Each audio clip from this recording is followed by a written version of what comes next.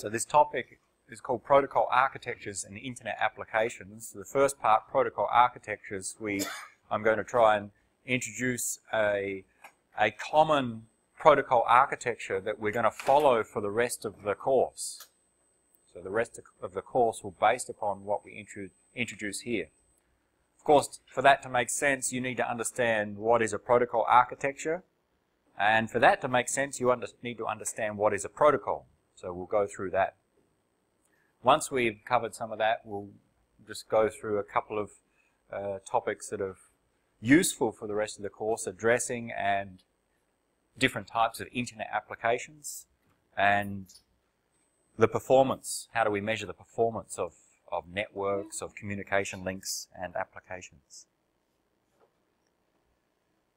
First, and I forgot yesterday, so in this class we've got what, all mostly computer science students. There's a few students from different, maybe different programs or different years.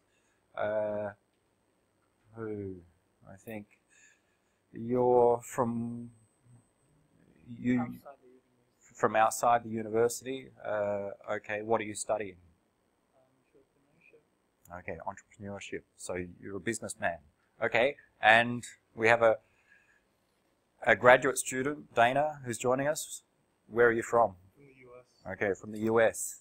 Uh, he just arrived last week to Thailand. So, uh, in the US, how do you greet someone? Hello. Hello, okay. Uh, in Thai, how do we greet someone? How do you greet someone? Okay. And what about a formal greeting? Uh, Maybe. You shake- Shake someone's hand, okay. Give him some help. And what happens when he meets someone in a formal setting here in, in Thailand? Um, what does he do?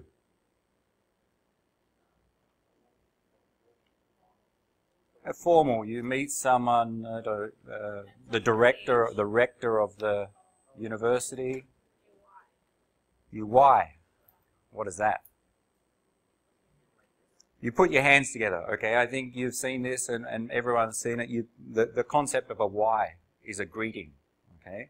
Where in a simple scenario, two people come together to communicate and there's some steps that they follow to, to really to introduce or to get started in that communication. Before they start talking to each other, they introduce themselves or they greet each other using the, in, in Thai the, the wai okay? And I don't fully understand all the details. Um, let's help eh, both myself and Dana understand by you telling me what are the rules that you follow in the wai. Someone said it depends upon the age. What does that mean? And, and while you tell me, I'm going to make notes so I can remember and other students can remember. So let's say at the start, we start. That is, two people arrive in a room. What happens? Think from your, from my perspective, what happens? From a user's perspective. Uh, under, so I'm, I'm here and yeah, someone comes up and there's a wai. Who, who, who does it? The younger one. Okay. So there's a rule that says, uh, if two people arrive together, the younger person should start, should initiate. Should, they should wai to the older person, correct? So I'll just make note of that. So the younger one, or the junior person, so if a junior person arrives, so I'm here, if a junior person comes up to me, what happens is, from my perspective, what do I do?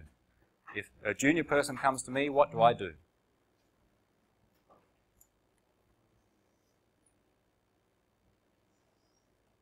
You're junior, most of you are junior to me. You come up to me.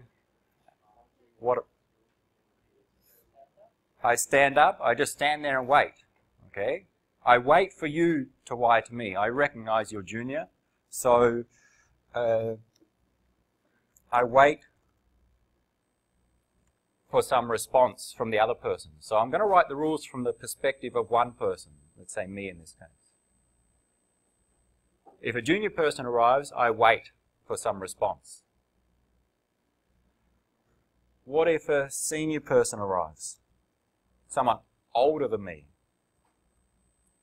What do I do? I wire to them, correct? You're telling me I, I, I don't understand all the rules. That correct? If a senior person arrives to me, then I should initiate the greeting. So we just, I just want to record some of these rules. And then after I, I'm not so good, wai to them, what do I do? After I send them this message, what do I do to the senior person? What's going to happen next?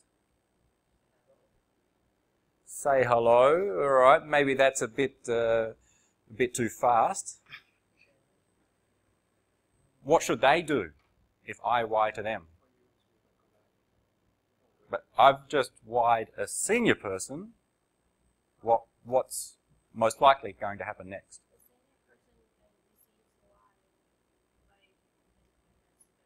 So the senior person responds to me with a a wai. Okay? So from my perspective, after I've uh, greeted them, I wait for a response from them.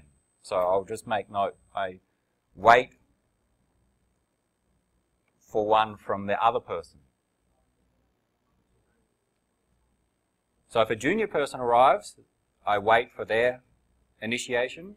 If a senior person arrives, I initiate and then wait for their response. That's a, a typical uh, behavior. So let's consider what happens when I'm waiting. So I'm waiting for some response.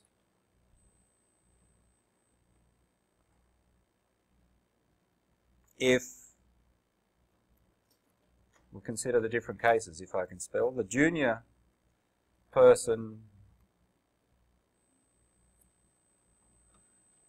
wise to me, what happens then?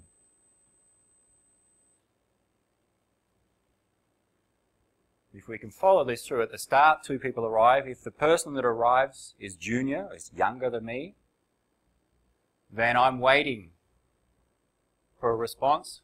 I'm waiting. So you think I'm in this state, waiting.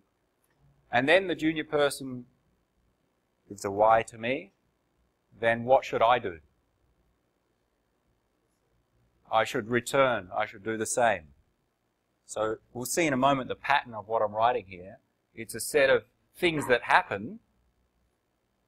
A junior person arrives, a senior person arrives, a junior person gives a to someone, events that happen, and actions that we take.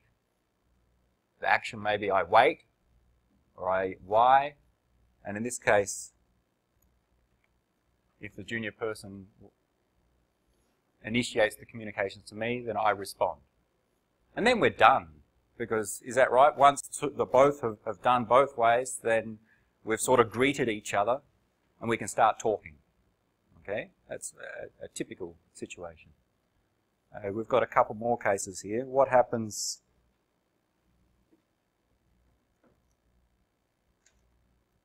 in this case? What action is taken?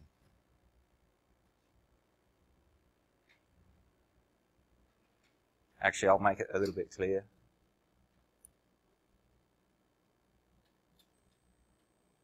And the greeting. This is just the steps for a greeting. Once we've performed the greeting, then we can start communicating the data between the people. We start talking. So here, junior person delivers a wai to me, I respond, and then we're done with the greeting. We end. Senior person arrives, I deliver a wai to them, I wait, then when, when I'm waiting, they deliver one to me, and it's the end now. So that's successful as well. Okay, so that's the typical steps that we follow for this greeting. And I'm trying to write them in some systematic way that we can record those steps so that someone could read this and follow it and be able to uh, implement this greeting. Any other things that may happen? What happens? senior person arrives, I wai to them, I'm waiting for a response. What if I don't receive any response after a minute? I just stand there waiting, do I? How long do I wait? Forever. Okay, I, am not that patient. Uh, what, what's, what happens? What if I wait too long? What could I do? Here, when I say and, I mean we could start talking. I'll just make that a bit clearer.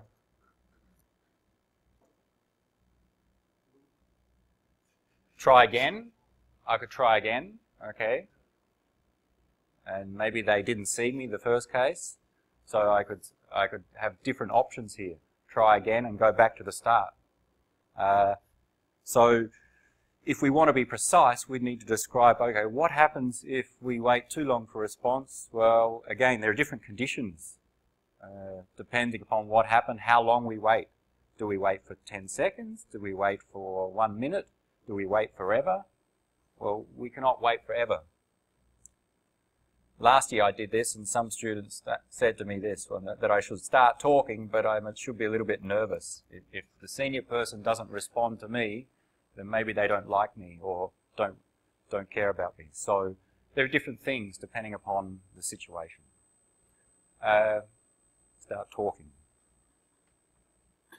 So what I'm doing here is describing the steps for a greeting between two entities, two people in this case. When we're talking about computers communicating, I want to communicate, or my laptop wants to communicate with this PC, they want to exchange some data, so transfer some information between them. Usually there are some steps to initiate the communications. Before they send the data, they may greet each other, saying, I am this computer, I want to send data to you. This one says, yes, you may send data to me. And then they send data. And those steps are a protocol. Okay, that's what a protocol is. A protocol defines a set of rules for communications. So this is a protocol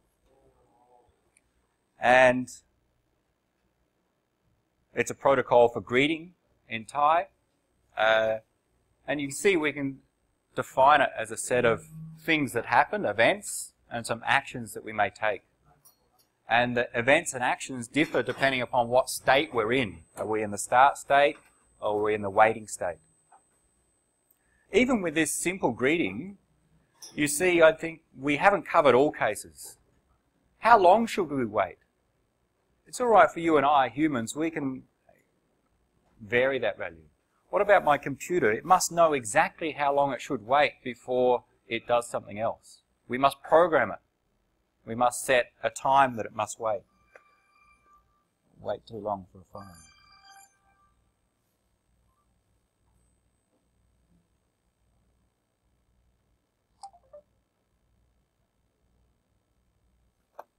So even though we roughly described our protocol here, in computers they're much more complex than this. So we describe the rules that the entities follow. Here we're describing for one person. But this set of rules would also apply for the other person, the way that we've written them. So a protocol describes a set of rules that an entity that wants to communicate must follow. It also describes, should describe the set of messages that we communicate between the entities. What are the messages that we've sent between the two people in this case? Well, you can think we we wait or we wai someone. So think that's the message that we're sending or we receive. So in fact here we have just one message. In this simple protocol. So that's our message type. Are there any, are there different types of a wai? Is there just one type? How, how do you do it? Three types. What are they?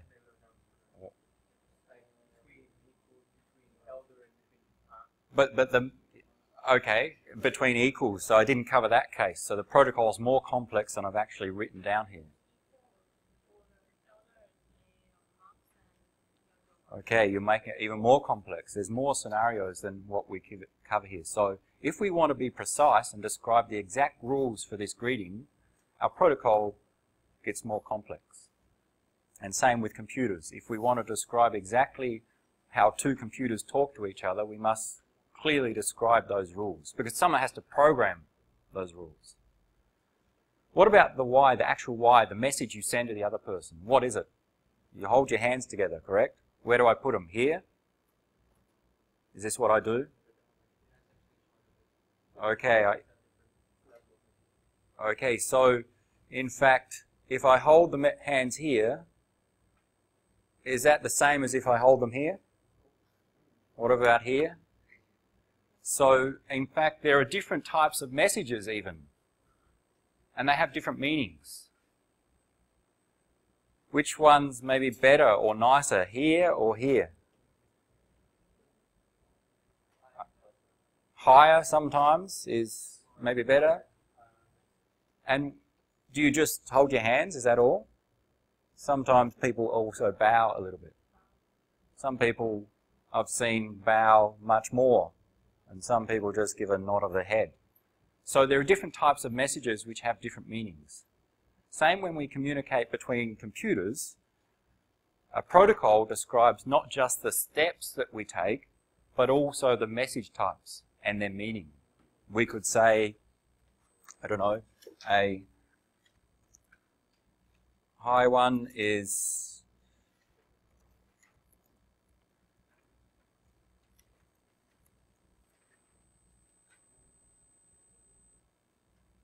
and maybe there's, I don't know, there's one which is considered rude or, or inappropriate to some people. So depending upon the actual message uh, or the, the, the, message type, they have different meanings.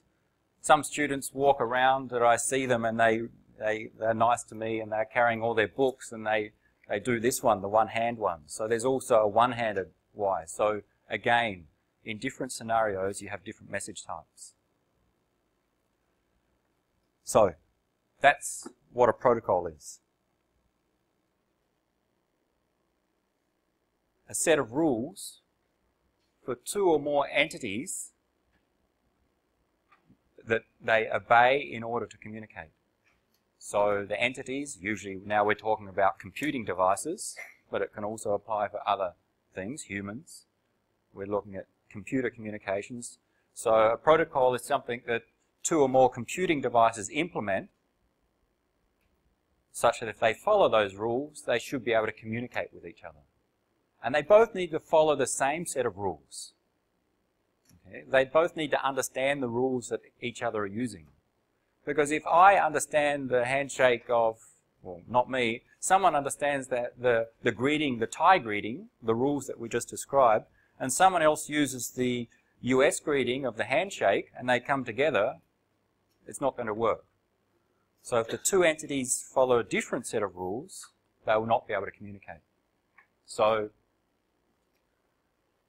a protocol contains the set of rules for each entity, the peer. When we talk about two entities, they are peers of each other that they must follow. Included in that would be that, for example, the timing information. We said, how long do we wait for the other person before we respond? Same with a uh, computer protocol, how long does my computer wait to get a response from the other computer? One millisecond? One second? It cannot wait forever, because if it waits forever, it will never communicate in some cases. So we need to describe that in a protocol. And also, we need to describe the types of messages, the syntax of the data that we're sending. And we need to be quite precise. We cannot be as general as, uh, as as we get, did in that example. So very simple, a protocol, a set of rules that the entities follow in order to communicate. That's easy. What's a protocol architecture? Well, now back to our computers. For my laptop if I connect a cable to this PC and they want to, I want to transfer a file from laptop to PC, just a, a one megabyte file, then this, the tasks involved for doing that, uh, there are many of them. Okay? For my computer to be able to transfer a file to here, it must be able to understand the structure of that file or uh, the file format. Uh, it must be able to do, my computer must be able to generate some signal. The file is in binary, zeros and ones. To send something across a cable, I send some electricity. So I must be able to convert that zeros and ones into some signal to send to the other computer. I'm, in some cases, there may be errors. And I cannot tolerate the fact that if I send a file and the received file is different. So my computer needs some way to check if the receiver has received the correct file. If not, maybe try again, resend. My, my computer needs to know the address of the destination. Especially if I'm an, a large network or a network, I need to know which other computer I'm sending to. The point is that for computers to communicate, there are many different tasks that the computer must implement to provide effective communications. So there's not just one protocol that every computer uses. Because data communications is very complex, what we generally do is we apply the divide and conquer principle, which is we take this hard task, this complex task, and we divide it into subtasks and we have a protocol to implement the individual subtasks. So we have a set of protocols. Let's get a pointer.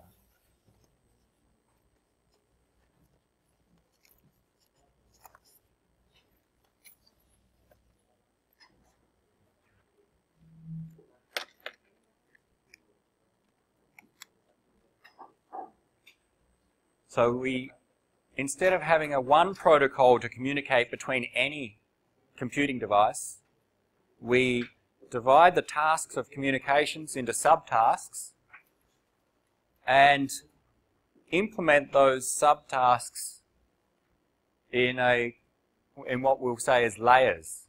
We separate the subtask into layers. That is, we'll see we'll see the picture shortly, but the lower layer deals with some tasks the next layer deals with other tasks. And another layer deals with other tasks, and so on. We have layers which are uh, specified to deal with certain types of tasks. Ignore this for the moment. When we combine the layers together, we get what we call a protocol architecture. And we try and continue to describe that, but let's look at a, an example of a simple protocol architecture to try to demonstrate this concept. So recall that our computers want to communicate. We use protocols to communicate. But because the task of communication is so complex, we can't just use one large protocol. We actually use many different protocols, smaller ones. Each protocol has a, a certain responsibility to implement a task. And we divide those tasks, initially conceptually and, and eventually in the implementation, into layers. Where this is one layer, the protocols we think in this layer have some responsibility, in this example, of providing some access to a network. Protocol in this layer has some other responsibility. And the protocols in this layer have further responsibilities. So we divide the system into smaller chunks and organize them as layers. And together, these layers form a protocol architecture. So in this example diagram, we have three computers, A, B, and C, and these blocks show the protocol architecture inside that computer. So it says a simple way to view it is that in computer B, there's some protocol that provides network access. There's another protocol that provides transport. We'll have to explain what transport means shortly. And there's another set of protocols for applications. Applications like a web browser, instant messaging client, Skype, email, your other network applications. And each of these computers use the same protocol architecture we see. Three layers, applications, transport, network access.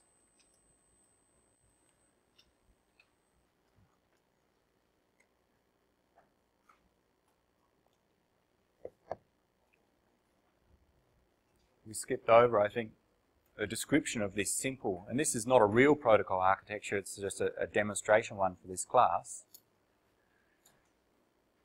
In this protocol architecture, we say to communicate, there are, we have applications, applications that are for transferring files. Some of you may have used, I don't know, FileZilla or some FTP applications to transfer files. Email applications for sending an email. They are different from web browsing, your web browser. You may use remote login, instant messaging, voice over IP, video chat. They're the types of applications we use in a network. And on and those applications run on computers, and those computers are connected via a network or networks. In this simple demonstration, we're saying the tasks for communications, we're going to divide into three groups. The group that is dealing with supporting applications. So protocols that support file transfer applications, protocols that support web browsing, protocols that support email, we'll group into the application layer. What's a protocol that supports web browsing? Use it every day and you see it in your address bar sometimes, you see it in many places, HTTP. Okay, you see it in your web browser, HTTP. That's the name of a protocol or an acronym for a protocol. The Hypertext Transfer Protocol. That's considered, web browsing is an application that we use in, the, in a network. HTTP is a protocol that supports that application of web browsing. So we consider HTTP as part of the application layer. It's a set of protocols that support applications.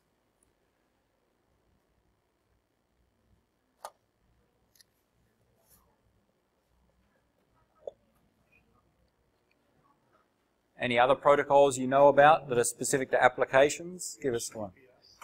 Okay, Secure Web Access, HTTPS. That's an old one. TCP you've heard of, we'll come to that in a moment. But no, it's not an application protocol. What think of other applications and, and see if you, you may not be able to recognize them. Has anyone heard of BitTorrent? BitTorrent? Okay, th there's an application. In fact, there's also a protocol. What do you use BitTorrent for? downloading Linux distributions, correct? Okay, so that's in fact a protocol that supports the application. Some of you may have heard of it. Is it two T's? I don't know. I think so. BitTorrent. That's uh, both an application, in fact also a protocol that supports file transfer amongst a large set of computers but it's an application protocol. Has anyone used email before? Yeah? What protocol does email use? There's several. And you may not see them as a user, sometimes you don't come across them, but there's things like POP, IMAP, and SMTP. SMTP. You don't need to copy these down, we'll see them later. They are examples of, or these are protocols used to support email. This is a protocol to support file transfer. Another one for file transfer, different, FTP. You may have seen it. Yeah, TFTP. There are hundreds, literally hundreds of protocols to support different applications. Skype has its own protocol to, for, for voice calls between Skype uh, clients. These are application or protocols that support applications, different applications. So we group them into the application layer.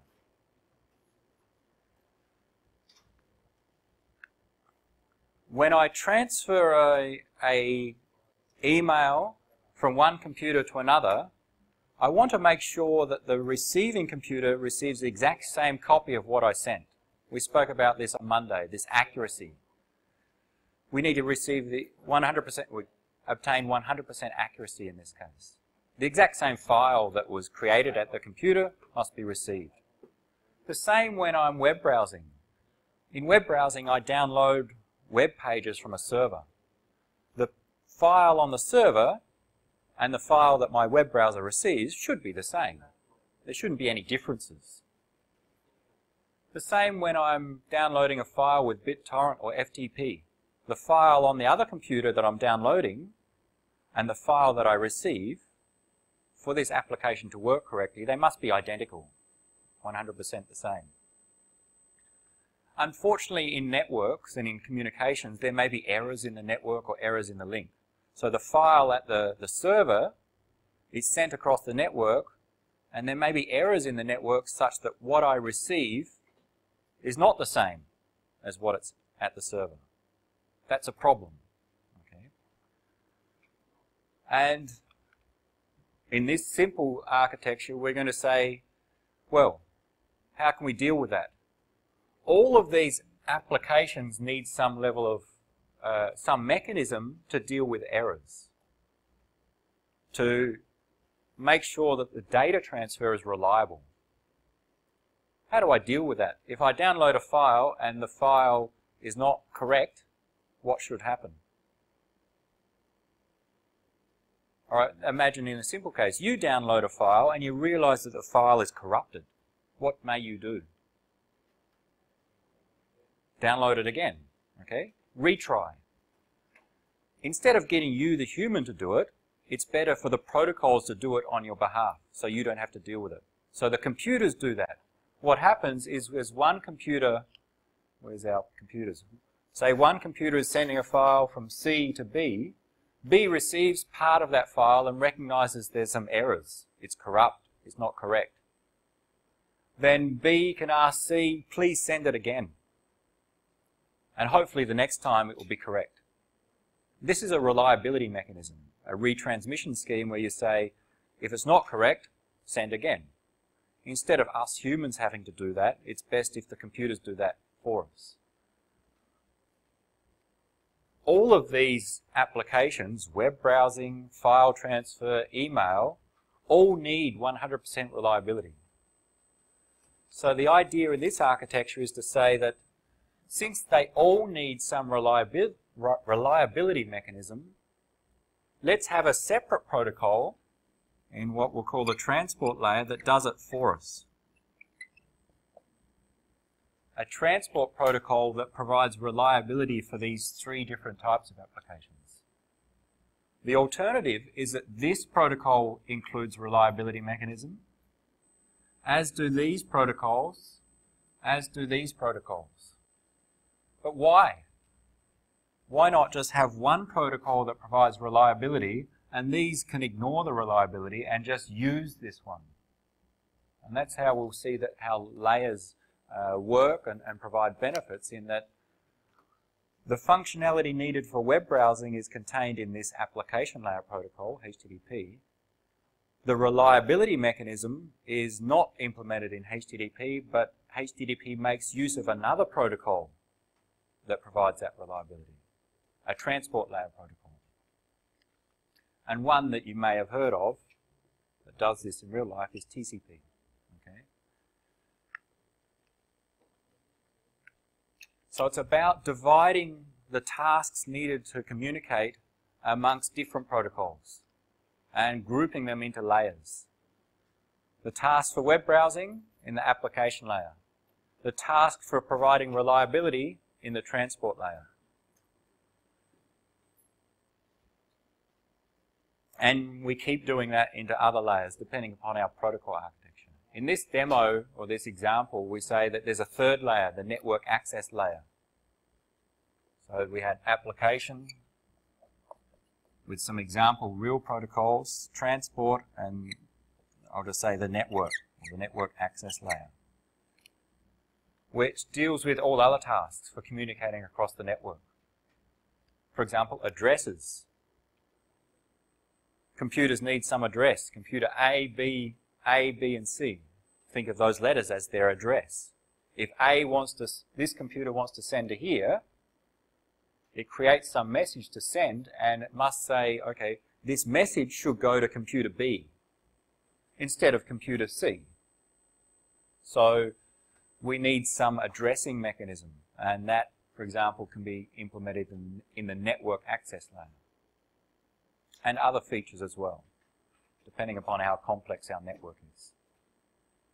So the main point here is that we divide communication tasks into layers where each layer has certain responsibilities. And those proto and protocols are implemented in each layer uh, to complete those tasks. There's more details in this example, uh, but for now, uh, do we need them? No, we may come back to them. Uh, since everyone I know here is understanding 100% of this, we don't need the simplified protocol architecture. We'll go to the real protocol architecture. This three-layer one that I used here is not real. Our computers don't implement this. What's a real one? Or close to a real one? Well, one that's used on a daily basis and used in, in many computers around the world is uh, is what provides us access to the internet. Uh, so has different names, but I'll call it the TCP IP protocol architecture, or sometimes just the Internet protocol architecture. So let's look at that.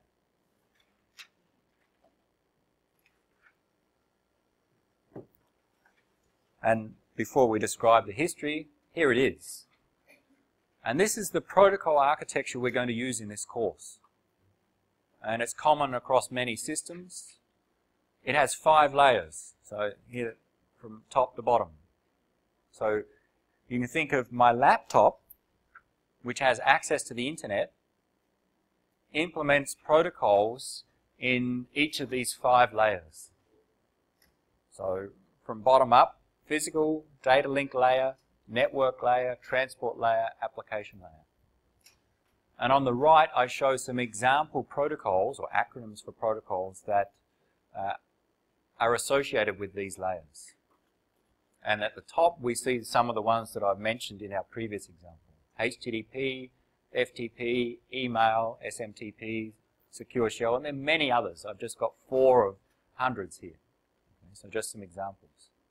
So you can think of your laptop, your mobile phone with internet access, a web server, implements a set of protocols for communications across the internet. And in most cases, we can group those protocols into these five different layers. There are protocols that support specific applications, web browsing, uh, email, file transfer, voice, video, instant messaging, specific games, and many other applications. Database applications, proprietary business applications. So the application that the user uses, there are protocols that support them. Work our way down. Uh, transport layer one of the main roles of the transport layer, especially the one, the protocol called TCP, is like what we said here, is to provide this reliability mechanism. I want to transfer data from a web server in the US to my laptop here. It has to be delivered 100% accurately. The data there at the server and the data arrives at my computer must be the same. If there's some errors in the internet or on some links, then one role of TCP is to make sure it overcomes those errors. And it does that by asking the server to retransmit. Send it again if it, come, if it arrives in error. So that's a main role of uh, TCP in the transport, transport layer. There are other protocols as well. Not, not as many as application protocols. Two common ones are TCP and UDP. Some less common ones, SCTP and DCCP. I'm not going to try and introduce all these acronyms now. Usually P means protocol, the rest we'll see as we go come across these protocols. Transport layer is there to support applications, but is common, provides tasks that, or implements tasks which are common across many applications. Let's go to the bottom. Let's skip network and data link and go to the bottom. The physical layer has the task of doing the very basic things for communications. In the simple terms, it takes bits, zeros and ones, and generates signals. Some physical signal that can be sent across out of the computer. So, uh, I've got an example. Here's a LAN card. It's maybe 15 years old. You've got them built into your laptop now. They're, they're much smaller on a single chip, but uh, and also in your PC on the motherboard. But an old LAN card where you, you plug the, the LAN cable into, into the socket. Okay, So this is the LAN card. Uh, so you can think what this LAN card receives is on some bus here, it receives some digital data, zeros and ones which is the data that we want to communicate across the link or the network. The chips on here implement the physical layer and what the or a physical layer protocol. And what that does in very simple terms is takes those bits and generates an electrical signal that is sent across the wires that are plugged into the socket. So think of an electrical signal as some sinusoid, some sine wave. So it takes bits and generate some signal to represent those bits. A simple example, when we have a bit 1 to send, send a high signal. When we have a bit 0 to send, send a low signal. If we have 10 bit 1s, send 10 high signal for, for some portion of time. So that's the role of the physical layer to, to say how to transmit digital data, bits, as some signal out across a link. And it defines the types of signals, the types of cables that can be plugged in here, so the material used inside them, or if we're using wireless, uh, the frequencies we use for wireless, and many other physical characteristics of the media. So that's the raw, or the very basics of communication, sending signals, and it's the role of the physical layer. Some examples twisted pair are the cables that plug into these LAN cards. I showed, well, a LAN cable, but cut. Okay, you've seen LAN cables with this, with the, the endpoint. It's cut here, and you see, in fact, inside is a set of wires, copper wires, and there's a pair. Each pair is twisted around its partner, so it's often called twisted pair. It's just copper wires and it carries an electrical signal. Uh, so the, the structure of this is defined by physical layer protocols. Others, optical fiber, I don't have an example, satellite, wireless LAN, other technologies are part of the physical layer. Where have we got to? Think of the physical layer as taking the task of getting bits as some signal across a link. The data link layer has the extra role of making sure those bits get across the link in a reliable and efficient way. Again, it does something similar to the transport layer. It deals with errors. If we send some bits and there are some errors at the receiver, the data link layer may also ask for a retransmission. Send it again. because some of those bits that we sent were in error. It does other things like sharing the medium amongst many users, uh, giving addresses to the computers. So it gives this LAN card an address, and in the other computer, the LAN card has another address. That's some of the responsibilities of the data link layer. Making sure that the bits get across the link, across the, the link, the data gets across the link in an efficient and reliable way. Physical layer, I think, just tries to send the bits as a signal. It doesn't care whether they get there, it just transmits them. Data link layer tries to uh, improve that by, if there are errors, fixes them, provides some addressing schemes. In fact, sometimes there's a very close relationship between these two. On this card, both it implements both the physical layer and the data link layer. So you can sometimes associate these two with the hardware. A LAN card, a wireless LAN chip, uh, a router, or a router interface. And some examples that really cover both layers, Ethernet, wireless LAN, frame relay, are examples that implement protocols in both of these layers.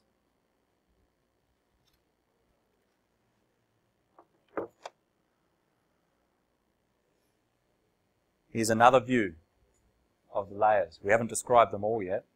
And this is one of the hardest things for students that start this course to understand why do we need these layers, what do they all do.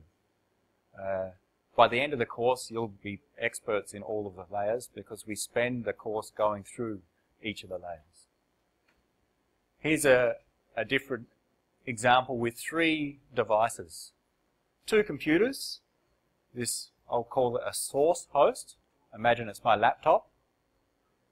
And a destination host, say it's the PC there. They're hosts uh, in this case. A source wants to send data to the destination host. They don't have a cable connecting them. Instead, I have some other device in between them. Uh, all right. You've seen these around. This is, in fact, a wireless access point but it's also a router. It has some sockets on the back where I can plug the, the LAN cables into.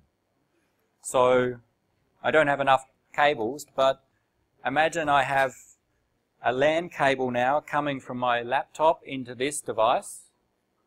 That's this black link here. And also from that device, from the other socket, a LAN cable, a separate one going into this PC which is the second transmission link 2 here. So that's the scenario. Three computing devices. We'll call them the source host, the router, and the destination host. And let's look at inside them. So if we looked at the hardware inside my computer, the operating system, and the source code of the applications, we will find protocols that we could assign to each of these five layers. For my laptop to the intermediate device, the router, there's a physical layer. They both implement the same physical layer protocol.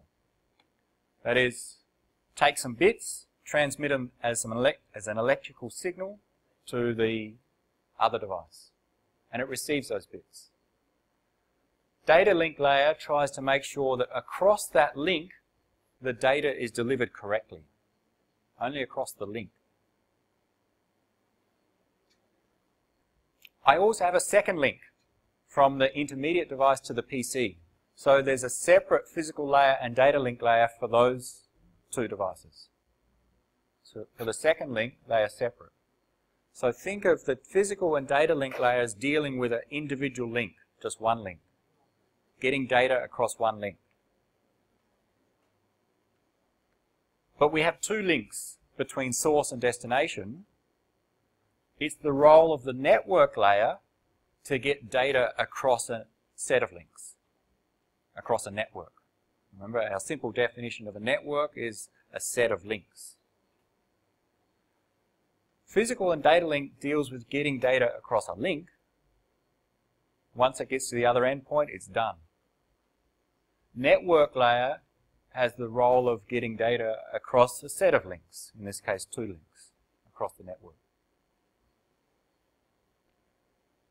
And therefore, the network layer protocol in this case is implemented in the source host, in this intermediate device, and in the destination host. They all work with each other to make sure that the data gets from source to destination. And back to the top, application layer protocols deal with getting data between specific applications. Web browser, uh, web browsing is an application. So from web browser to web server, from email client to email server, from your instant messaging application to your friend's instant messaging application, between applications. And the transport layer is about supporting those applications to make sure that that data is delivered across the network in a reliable manner.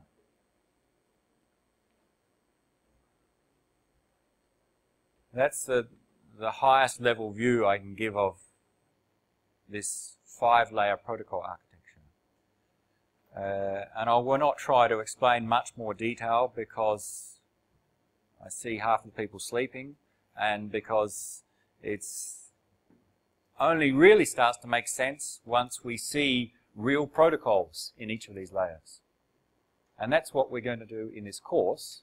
We're going to spend some lectures on the physical layer, explain how that works, then the data link layer, then the network layer, transport and application at the end. At the end of the course, we'll finish on how does HTTP work? How does an application layer protocol work? And then you should understand how all these layers come together. Uh,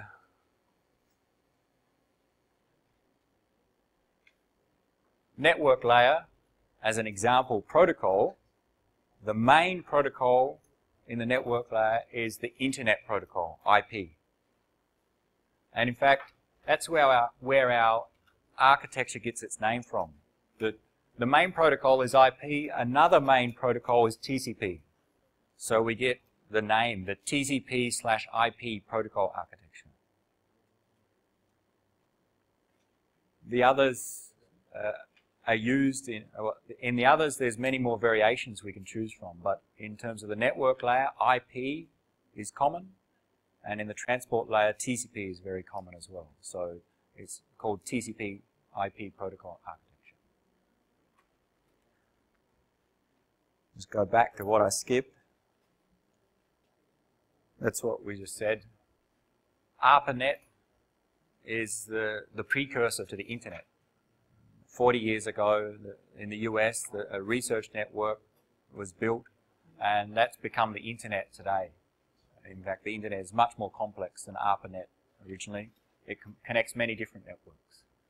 And the set of protocols called the TCP/IP protocol suite.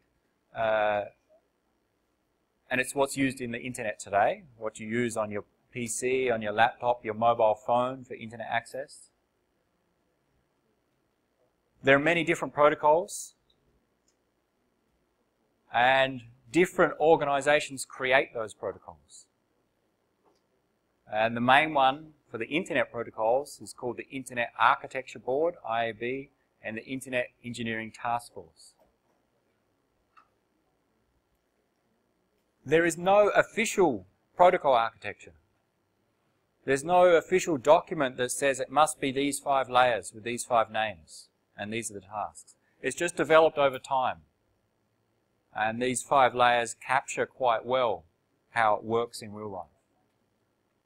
In fact, if you look in different textbooks, you'll see some people use six layers instead of five. And the names of the layers differ. So this is common in the Stallings textbook, and it's what I think is a good representation of what we need to cover in this course. So, but in reality, there are some different names that we'll see here. Uh, but it's good for you to remember these five layers. There was a different protocol architecture. So think there's this TCP IP five layer protocol architecture. Before that, there was a different one called the Open Systems Interconnection Protocol Architecture, OSI. OSI was developed by ISO. That's the organization, that's the name of the protocol architecture. Confusing, but uh, That's how it worked. The OSI protocol architecture or reference model had seven layers. Okay, so there were seven, not five. We don't have time to go through that, although it is interesting. Uh, TCP IP won, essentially. OSI lost, if we think of a competition between these protocol architectures. About 30 years ago, people were going down both paths in the TCP IP and OSI. But eventually OSI uh, was not successful. People didn't use it as much as TCP IP. So the internet today is focused around the TCP IP protocol architecture. Although it's not used in practice today, many of the principles and terminology still apply. And we still hear references to the seven-layer OSI uh, protocol architecture. It's similar to TCP IP with two extra layers.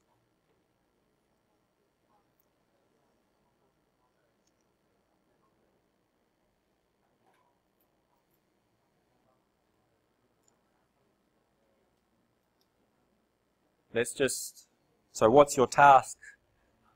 If you don't fully understand this, minimum, remember these five layers, remember their names and the ordering of them.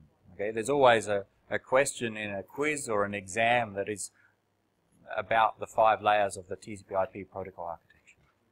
So it's important to remem remember these five layers try to remember some of the real protocols and where they fit in those layers. So try to remember that HTTP, okay, that's for web browsing. That's an application. That's part of the application layer.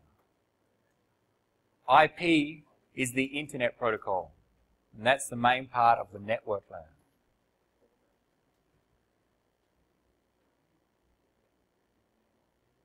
And a description or some textual description of those layers, very brief, is given in these two slides. So physical layer, how to send bits over the transmission medium as some signal. So some concepts that we will see when we look at the physical layer is, okay, at what data rate do we send? How many megabits per second does our physical layer allow us to send bits? Our LAN cable may be 100 megabits per second. Wireless LAN may be 54 megabits per second. That's part of the physical LAN.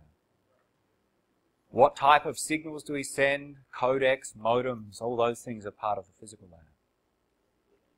We'll explain what they mean in, in later topics. Data link layer. Across that link, how do we get the data across it efficiently? Provide reliability, give addresses to devices, uh, set up links. Sometimes has other names, network access, MAC, link, hardware, but we'll use data link layer. Network layer allows hosts, computers, to communicate across a network, across multiple links. And it does different things a main thing that it does is finds a path through the network. To get my data from my laptop to the web server in the US, what path should it take? What set of links should it take? So find a path through the network or find a route through a network. So we get routing.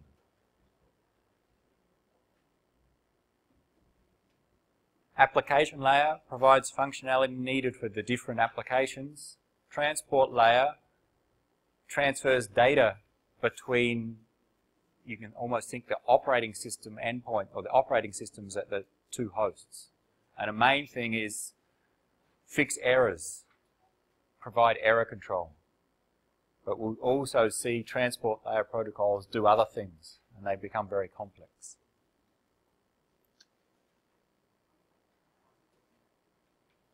What's the time? 10 o'clock. Uh, We've a, a couple more things, but not much to go through because I want to look at the quizzes and, and some other things on the website. Is it all clear? Everything okay? Any problems? Okay.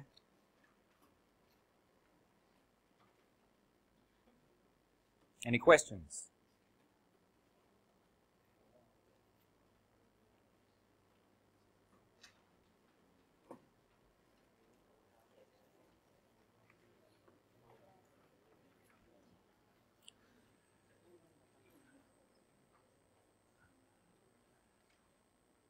Try to understand what have we covered today. What is a protocol?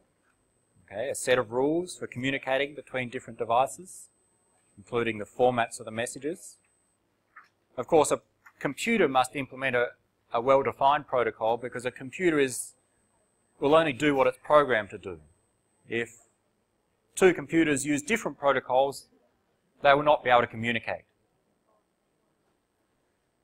we have protocol architectures. Instead of one very big protocol, we divide tasks and separate them into different protocols. And to keep things organized, we separate them into protocols which are organized by layers. That's a protocol architecture. And the protocol architecture we're going to consider in this course and is common through the internet is this TCP IP protocol architecture. These five layers the bottom two about getting data across a link. The network layer is getting data across multiple links across a network. And the top two are about getting data between the end computers, the end hosts, and between applications on those end computers. It's a, a broad grouping.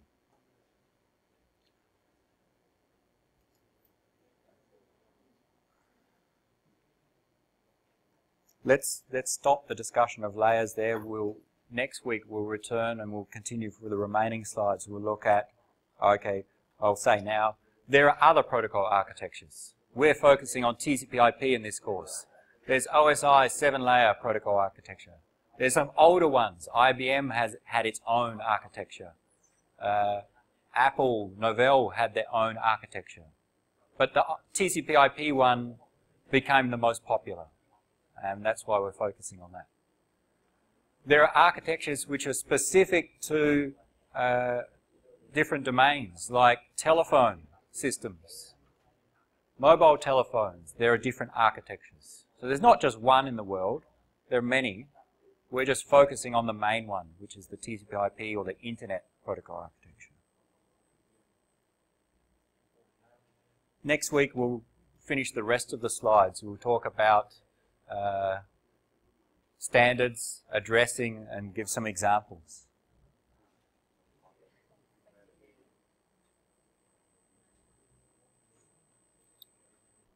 What I want to do in the last 10 minutes is uh, say a little bit about the website.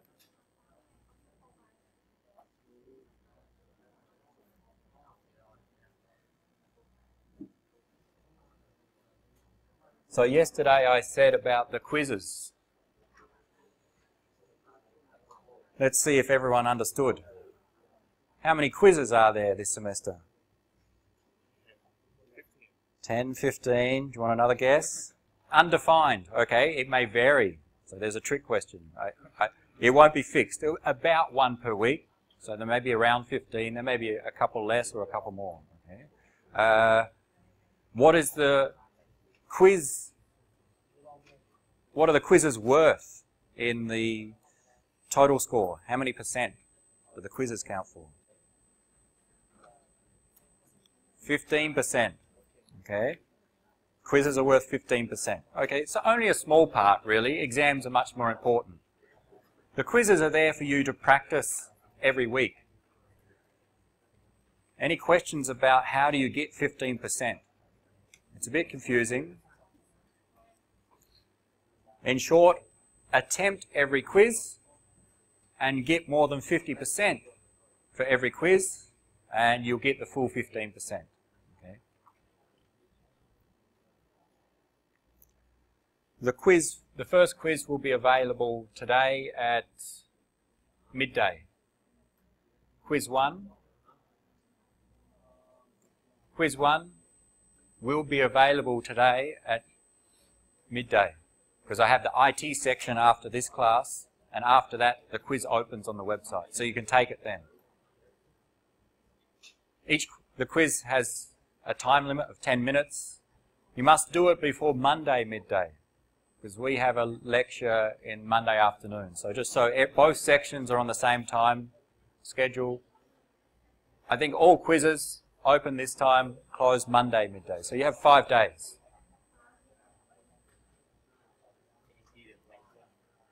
Yes. Now you see the questions. You can make, I can preview the quiz. I can because I'm the admin. Here's one. You have a 6 megabyte file to download. Your computer is connected to a network with a download speed of 10 kilobits per second. What is the minimum time it takes to download the file? Okay, so there's your one of your questions in the quiz. You'll see that shortly. There are seven questions in this quiz. Usually there's a few less, in fact, not seven. And it times you. Okay, You can't pause the time. And again, you can have multiple attempts, three attempts at this quiz. If you get less than 50, try again, and then again.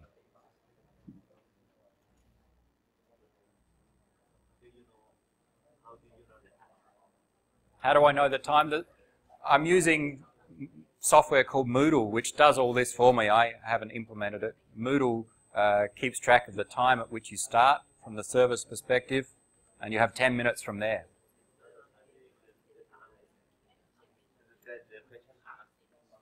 When is it? Oh, the question, that's what you need to think about, okay? You'll see that some quiz questions are not directly, I haven't given the answer or discussed it directly in lecture. Some are just testing your knowledge, your general knowledge. How do you solve this? Well, that's very close to high school mathematics and physics. Uh, but you think about it. Um, but on that topic, not quizzes, where are we? Also, and this is what I wanted to discuss, there are practice questions or practice lessons. The practice ones do not count towards the grade. You can do it or you not do it. I'd prefer you to do it, but I'm not going to be checking everyone. And if you do it or not, you won't, it won't impact on your grade directly. Currently, there are two practice lessons. They're not quizzes, they're just a few uh, slides or pages of describing some concept. These are concepts that I expect you to know already. Okay, this is just testing your background knowledge. Units and prefixes. Units, things like bits, seconds, hertz, meters, how do we measure some entity? Prefixes, mega, kilo, micro, okay? Prefixes that we use to uh, write numbers uh, in more convenient forms. Okay? You need to understand them, especially the ones that are going to come up in this course. So I expect you to know them, but to make sure that you do know them, do the lesson. There's no time limit here, I think, that you can do it in your own time. It gives some description of what you need to do, and you just step through. Right, you can read this in your own time. This is a lesson about units and prefixes. So you can read this in five minutes. The main units we use are measuring time, length, angle, frequency, power, and information. So seconds, meters, radians, sometimes degrees, hertz, watts, and bits. Okay, that's what I mean by units. Make sure you understand them. dB will cover later, I think. There are others, of course. And then if you understand units, you go there. If you want to know some more, in this case I have a, a video that explains and gives some examples. So you can watch the video for five minutes. And if you think you understand them, then you answer some questions. And if you answer the questions correctly, you'll proceed on to the next task, the next part of the lesson. Again, it's not a quiz. Uh, you don't get any grade for it. So some people will find it very easy. Some may take some time to go through it. Uh, but you can give it a try just to check your background knowledge. What is the symbol of the unit used to measure information? Not, not straightforward. If you read the part before, you, it would be clearer, but anyone want to have a guess? B. So the symbol of the unit to measure information. What is the unit to measure information? The base unit we use is bits, or a bit. Okay, information. How many bits? What's the symbol for bits? We use the lowercase b. Okay, so uppercase b we use for use for bytes.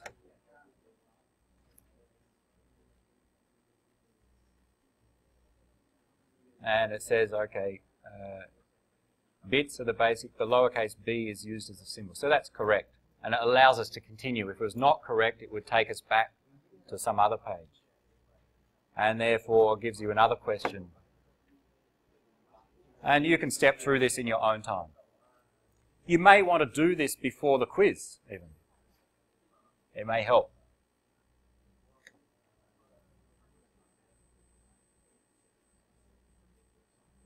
So this is about the concept of some information over some time gives us some rate.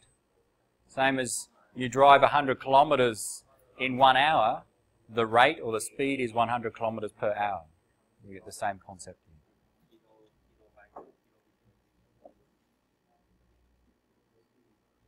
Uh, go back to our lessons. So you can do the lessons before the quiz. It may help in this case.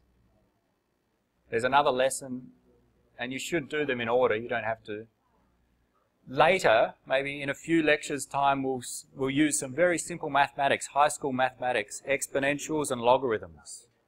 So again, just a reminder of some of the properties of exponentials and logarithms. Okay? Uh, just so that when we go through in the lecture, you'll be able to follow quickly. Just a refresher nothing new there for most of you. So a different lesson that you can use as practice.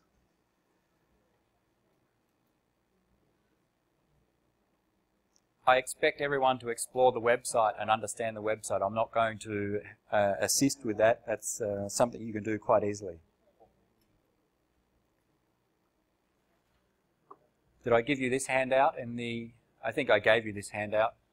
Uh, again, in this course you're going to see, uh, what do we say? At least a lot of these, a lot of TLAs. What's a TLA? A lot of three-letter acronyms come up in this course. Four letters as well, and some two-letter acronyms. And very hard to remember them all.